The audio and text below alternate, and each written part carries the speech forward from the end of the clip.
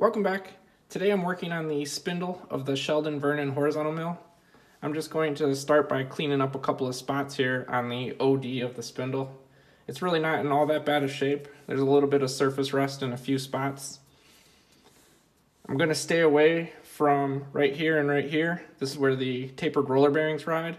And there is some discoloration, but there's no noticeable wear or any sharp edges or anything like that. Nothing catches my fingernail when I run it across there. So I'm not going to mess with those areas. I don't want to change the diameter there at all.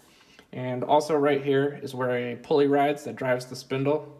Um, it's already a nice slip fit, so I'm not going to mess with that area. Just these areas here with some light surface rust. And I'm just going to use a little piece of Scotch-Brite.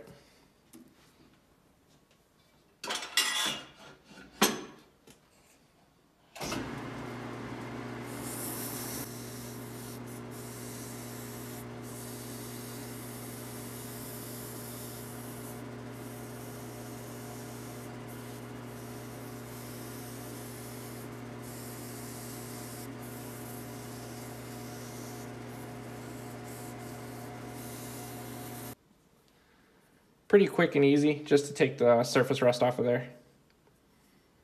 Now what I want to do is clean up the bore of the spindle. This is a number 9 Brown and Sharpe taper. And when I got the machine, it came with this arbor installed. It was equally as covered with surface rust, and I cleaned up the thing with Scotch-Brite, same method you just saw. What I want to do is lap or hone the inside of the bore here just to clean out any light surface rust or any high spots, anything that would keep the taper from seating properly. And I don't want to use this because I already scotch brighted it and I don't know how old it is, how worn it is, um, how well it actually fits in there. So I'm going to turn up a number nine Brown and Sharpe taper out of this. This is inch and an eighth. I think it's 1045 is what it is. And I'm going to use this as a lap or hone along with a little bit of diamond paste to clean up the bore of that. So I'm going to throw this in the lathe. First thing I'm going to do is face and center drill both ends. And one of the sides I'm, I'm going to drill and tap 7 16 20 and that'll let me use it as a drawbar. If I ever want to use this thing for an arbor for something down the road, I can use it and use a drawbar with it.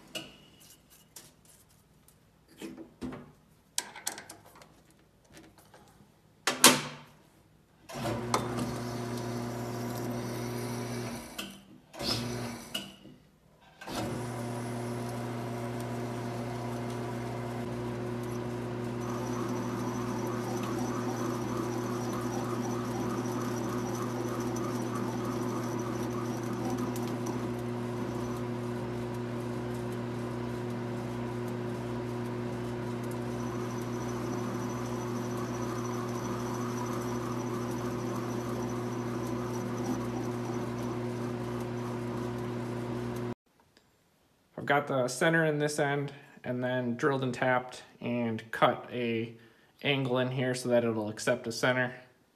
I had to turn down this end just a little bit in order to get the lathe dog to fit on there. So now I'm all set up to turn this between centers. Those of you that have followed my channel for a while probably recognize this setup. This is the homemade tracer attachment that I made. Basically it just replaces the lead screw in the cross slide here with a small pneumatic cylinder. So this is supplied with a few pounds of air, pushes the cross slide forward, and it rides along a template or pattern back behind there.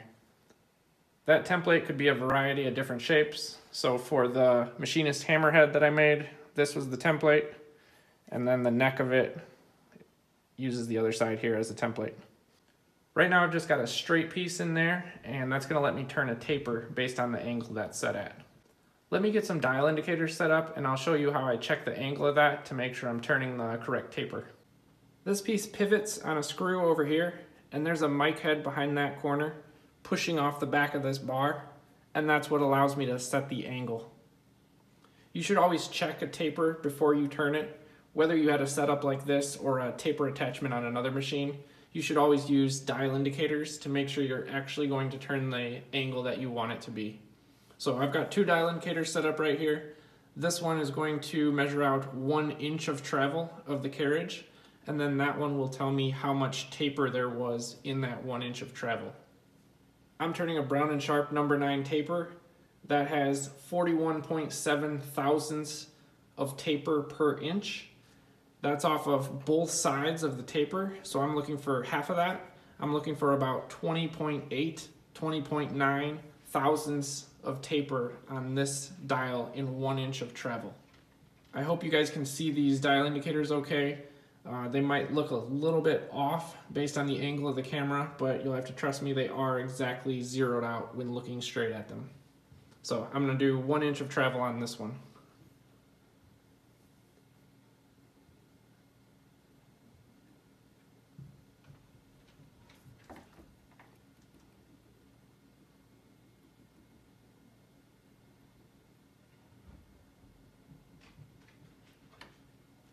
Right there, one inch.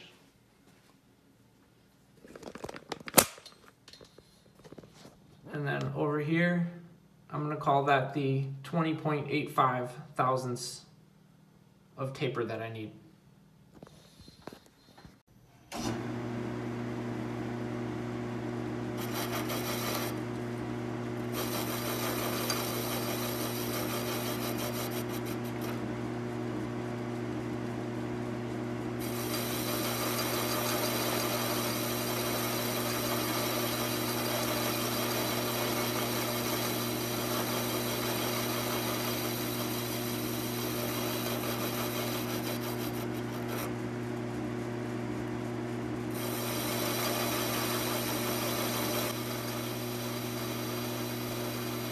I'm using the compound to feed in five or 10 thousandths per pass.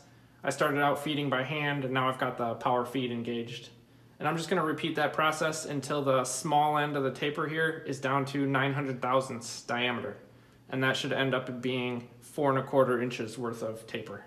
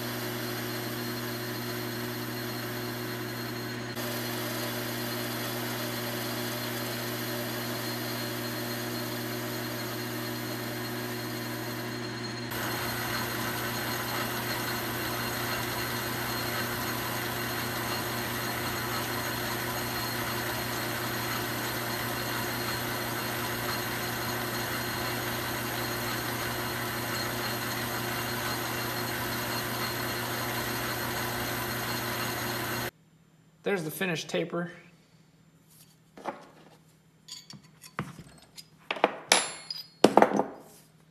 I ended up making it a little bit longer than the taper that's on the arbor that was in the machine when I got it. And that's just because if you actually measure down inside of here, it's a little over four and three quarters before it actually starts to radius out at the bottom there. So I made this guy not quite four and three quarters, just to try to clean up as much of that as possible. So now what I'm gonna use is some diamond lapping paste. This is 1050 grit, pretty fine. And you just mix it with a little bit of something to cut it. So I'm using mineral spirits just to make it a little bit liquidy. This stuff is pretty solid. It's real thick paste.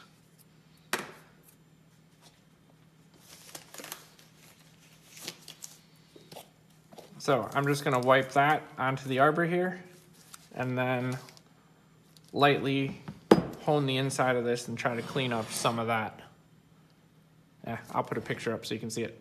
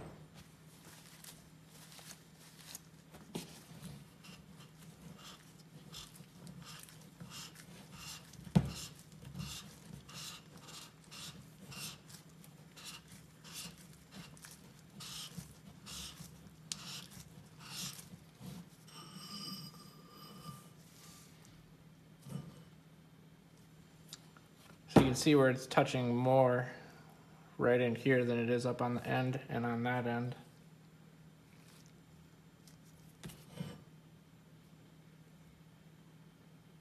Board does look a little bit better. Less, less rust, less junk in there.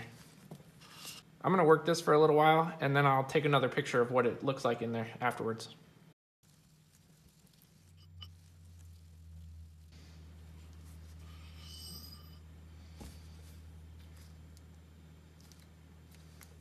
So it's making pretty much full contact now, all the way down the taper.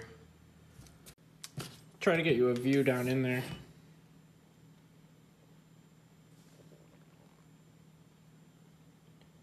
I'm pretty happy with how it turned out. It's not perfect, it's not a mirror finish, but that's not what I was expecting.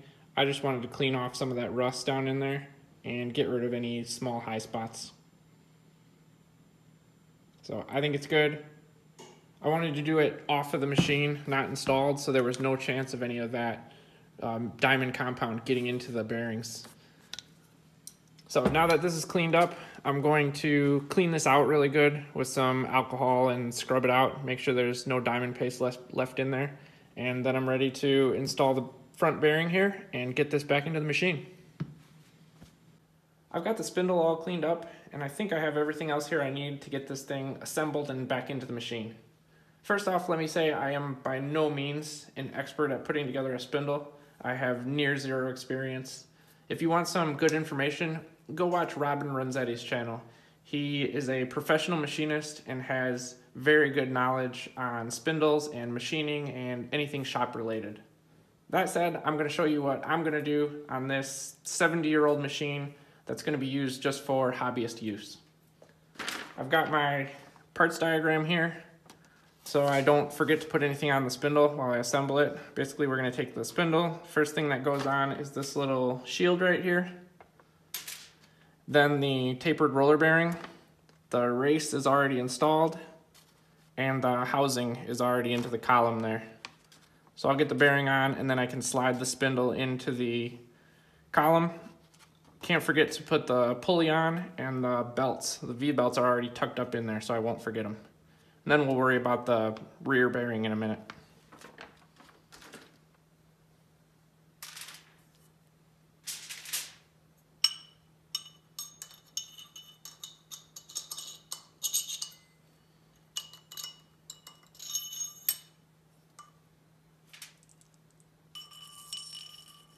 This should be a nice slip fit until right before where it seats right there. So I've got a piece of aluminum pipe that I cleaned up and I'm going to use that to tap the bearing on there. It seats only on the inner race, not on the cage.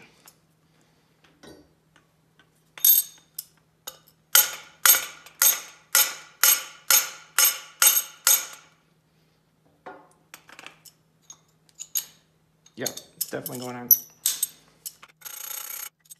Almost there. This is just uh, Delrin, so it shouldn't be any shouldn't be doing any damage to the spindle.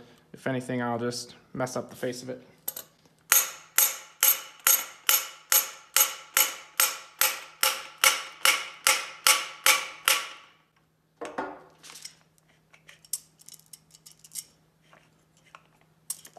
Good.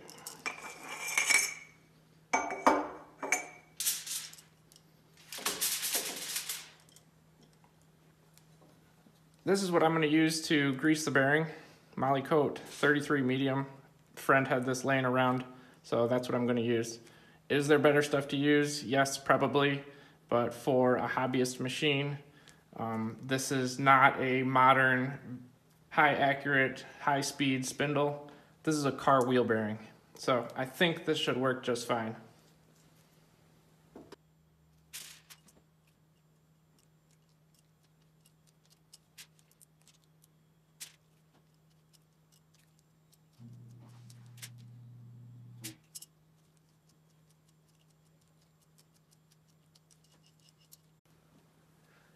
I'm happy with that.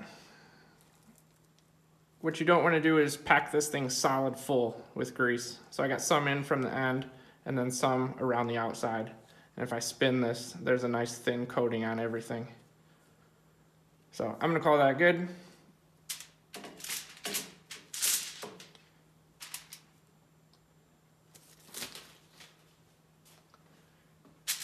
Now I can feed this through here and I'm going to reach in on the inside and get the pulley started.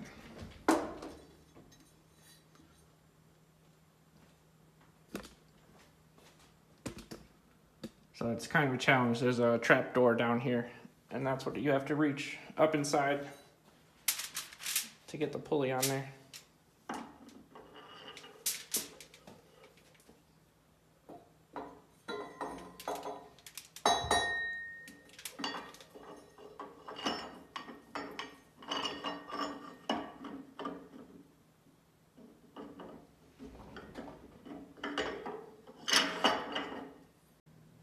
The back of the spindle. I've got this bearing all ready to go. The race is already in there.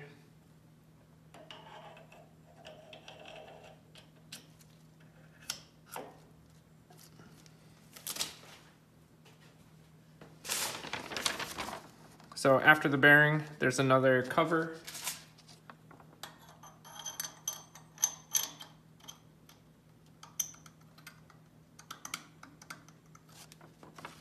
and then the back cover plate screws onto here.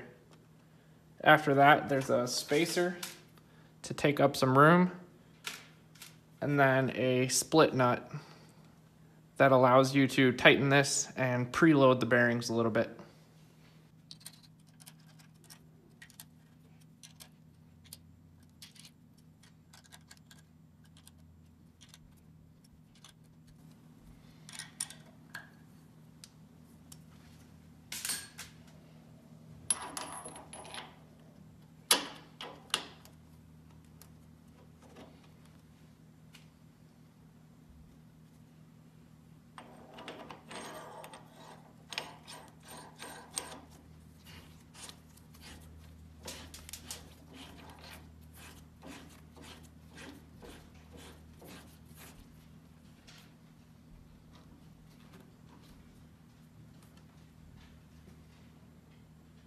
Before I tighten up that split nut in the back, I want to get this front cover plate on here.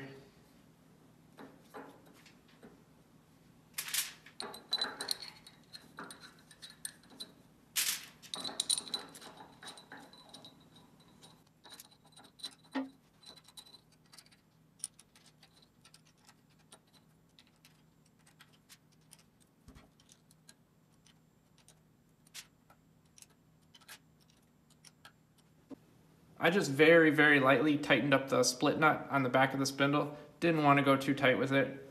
There's no play at all forwards and backwards of the spindle. So I'll check it again after I run it for a little while and see if I need to tighten that up just a little bit more, but right now I'm happy with it. I also got the pulley and belts all set on the spindle inside the column. There's zero room for a camera in there, so I couldn't film any of it, but I'll show you a picture so you can see what it looks like. I think I'm finally ready to wire this thing up and see it run. Hopefully in the next video we'll be making chips. Hope you liked the video. Thanks for watching.